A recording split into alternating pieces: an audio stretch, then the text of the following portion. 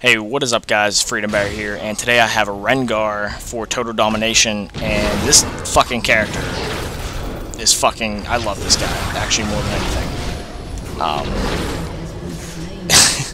I mean, this dude is fucking amazing if you know how to, like, correctly play him. I'm gonna have to classify him as a straight-up, like, fucking assassin. I play him extremely defensively, uh, just because I can't take a lot of hits, but I can do massive burst damage, and I can take you out from a bush. So anyways, I want to just jump straight into it and talk about all of my abilities, uh, what I usually use for my rune sets, uh, what I do with him. Jungle Rengar is probably my favorite thing to do, as you can see right here. I've got Smite and Flash. Uh, extremely I, I mean, if you have someone to help you with the first blue and your first pack of wolves on Summoner's Rift, you can basically drop whoever. Uh, you can, like, well, you will get extremely fed, honestly, because uh, Rengar is just a fucking brutal character due to all of his empowerments and everything that he can do. Like, you know that he has his, um, his, uh, his Q does a shit ton of damage, increases your attack speed when empowered. His W gives you 15% health. Uh, his E roots the target, and his R is just a an invisibility uh, takes you stealth, but it also enables you to uh, leap to your target, and it gives you 5 ferocity, so you can have one of your abilities powered up. So basically, I want to tell you how I actually play him. Uh, first of all, I will try, if whenever I'm going into an encounter, I will try to get uh, 5 stacks, then have all of my cooldowns replenish. And whenever you get to 5 stacks, you get a you get a free ability. Well, all of your abilities will unlock from cooldown, and you can use one of them and after you do that, uh, the cooldown the cooldowns will continue. I'm pretty sure whenever you already have that. So you see that I use that, you can double tap it. So if you get to five, um, you get to five ferocity and you use your Q, you can go back and you can hit your Q again right after that. So it'll do a shit ton of damage, and you just popped a shit ton of damage on them. But the only thing that sucks about that is that if you uh, you'll actually lose your major attack speed bonus because it actually doubles. So instead of having a major attack speed bonus, you'll uh, lose that, but you'll also you'll also get another hit out of your Q. So uh, with the R, I like to I like to uh, pop whenever I get to five ferocity. I like to hit Q, then I like to hit Q again, and then I like to hit R. And they usually start running because the massive amount of damage that I pop on them, like right then and there. But if they don't start running, uh, you can just hit your Q again and again, and you'll drop them pretty decently quickly. Uh, as you may know, uh, his uh, probably one of the best things is whenever you're getting into a fight in the bush because Rengar can just jump constantly. He doesn't have a cooldown on his leap for his passive, which makes him extremely overpowered right now, I feel. Because if anyone tries to escape you through the bush, you automatically have an advantage. Uh, Rengar isn't exactly the fastest character, but if you decide uh, maybe to get like one Phantom Dancer, it's pretty decent investment. Uh, the attack speed and the critical strike are beautiful for fucking Rengar just shitting on everything. Um, so that's basically what uh, kind of like, I don't know, like Rengar is pretty good for taking people on the bushes uh, just because he can fucking leap out on all over people and he has no, uh, there's no internal cooldown or anything on that. So, um, so if I'm ever going into a fight and they're running, you know, I'll just do my Q, my Q. I really don't use my empowerment on my E a lot. I don't know why, but I feel as though whenever, if you're trying to take someone down, you need your Q, because whenever it's empowered, like, it does a shit ton of damage. It's fucking brutal. I mean, like, I went 19 and won this game, just assassinating people. Like, I wasn't fucking around. I would go for the weakest link. Uh, always go for the weakest link with Rengar, because you find someone with low armor, low health, you'll drop them in almost two shots. I almost, I mean, I after I got fed, uh, it, it really turned downhill real fast for them. Uh, Rengar isn't exactly a tank, but uh, he, yeah, he can take a few shots from the turrets, but not not nearly as many as anything else. Like, Jace is kind of like tanky, like all these other new characters. Some of them are kind of tanky right off in the beginning. Uh, Rengar isn't exactly tanky, uh, and he's a no-cost champion, so uh, that's like one of the good things about him. You can stay in your lane a lot longer if you, uh, use your your W uh, correctly, and you just spam it, and you can just get all your health back, and it works out pretty well.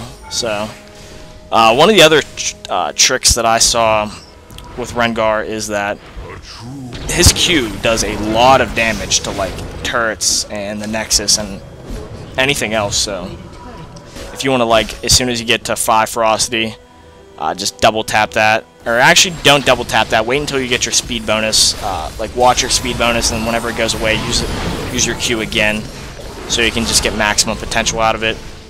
Uh, so that works really, really well. Uh, one of the most important things that uh, Rengar really needs is his snowball item, which is his bone tooth necklace, which uh, I don't have all the stats that it does, but I'm pretty sure three uh, three trophies will give you uh, 10 armor pen and 5 cooldown reduction. Six trophies gives you 25 um, 25 movement speed. Nine trophies gives you 150 leap range, and uh, 14 trophies gives you what's it called? Like three seconds added to your uh, ultimate, and one extra ferocity that it gives you. I'm pretty sure I don't I don't have the number. I'm not looking at them right now, but I'm pretty sure that's what it does. And basically, whenever you get a, a kill or an assist, it gives you one trophy. But if you die, you lose one of your trophies. So uh, even if you're in a lot of assists or you just attack them and you run away, you'll still get uh, you'll still get your uh, your your like your little trophy, and it's very useful when uh, pretty much doing anything. That 150 uh, leap bonus is fucking awesome for chasing people, and Rengar like really needs that honestly. So always, always, always get the Bone Tooth Necklace if you stack it up high enough, and if you know how to correctly like farm your lane, you will fucking just dominate anyone. Uh, except I've had a few problems with Olaf. Uh, Jax kind of sucks sometimes, but there's only a few characters that really are a pain in the ass, just because Olaf has a lot of true damage and Jax has his stun and his little fucking jump all over the place all over you. Everyone else is pretty easy, honestly. Um, uh, a lot of people, I don't know, a lot of people just don't know how to like defend against Rengar yet, and basically defending against Rengar is uh, Thornmail and a lot, a lot of health, a lot of armor, and a lot of Thornmail, because this this guy is fucking, he is brutal.